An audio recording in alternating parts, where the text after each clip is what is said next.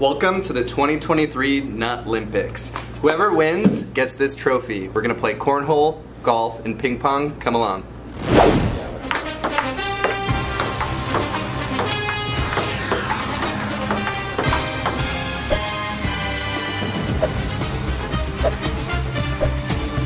Is he gonna be in last place? It's off.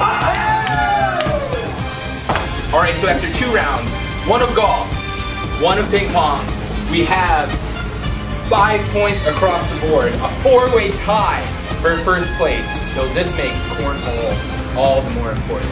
Final round. This one's money.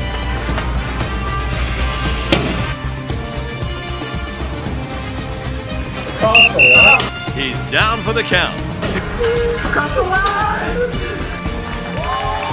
So, after our incredibly well thought out first annual Nutlympics, we have our third, second, and first place. Third place goes to Matthew Green. He gets the prestigious medal. Second place, the Silver Nut Award. Not that cool. Anthony Lazarus. And first place, the prestigious trophy for the champion! Suck it, suckers.